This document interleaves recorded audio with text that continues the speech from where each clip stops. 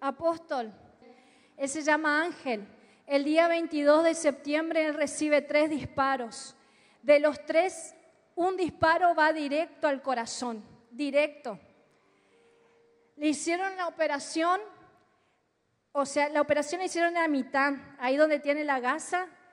Le abrieron de, los, de las 100 operaciones que se realizan en el hospital, nadie salió realmente con vida porque es una operación súper riesgosa. ¿Qué decían los médicos? Realmente los médicos decían que tenía un 1% de vida, de probabilidad de vida, porque el, el disparo le fue directo al corazón. ¿Pero tocó el corazón? Directo al corazón, le hicieron dos puntos en su corazón. Y los perdigones fueron a sus pulmones. Es decir, que realmente estaba muy complicada la cosa. De las 100 operaciones que se hace allí en el hospital, de las 100 operaciones, él fue el primero. Él fue el primero porque le dio al corazón. O sea, realmente no, O sea, ellos, ellos Nunca vieron decían, a alguien "No, con no, un tiro en el nada". corazón que salga vivo. Nada, nada, nada. Inmediatamente los familiares de él se pusieron en contacto con líderes, estuvimos orando. Inclusive el Ministerio de Cultura Real fueron los chicos que van cada martes y también lo de, lo de que van a evangelismo. Es decir, que permanentemente estuvo en oración este chico. ¿Cómo es tu nombre, hijo? Ángel Alegre. Ángel, así que casi no estabas acá. No, tuve 10 días muerto. Tuvo Es que 10 el, días. el diablo te quería muerto. El diablo me quería muerto a mí.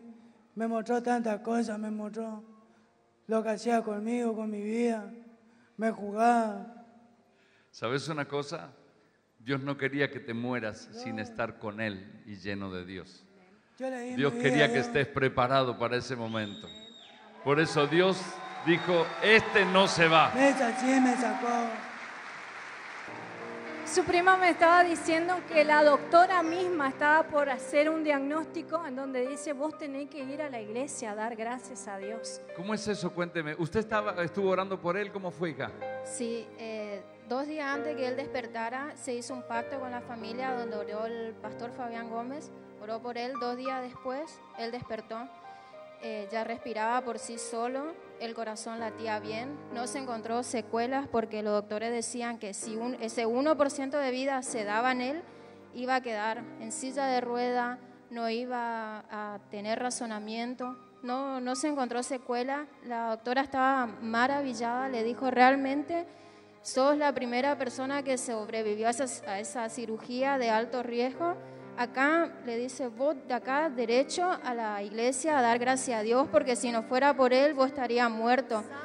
Y antes de irse, la doctora, antes de darle el alta, le dice, acá en las indicaciones médicas te voy a escribir ir a la iglesia.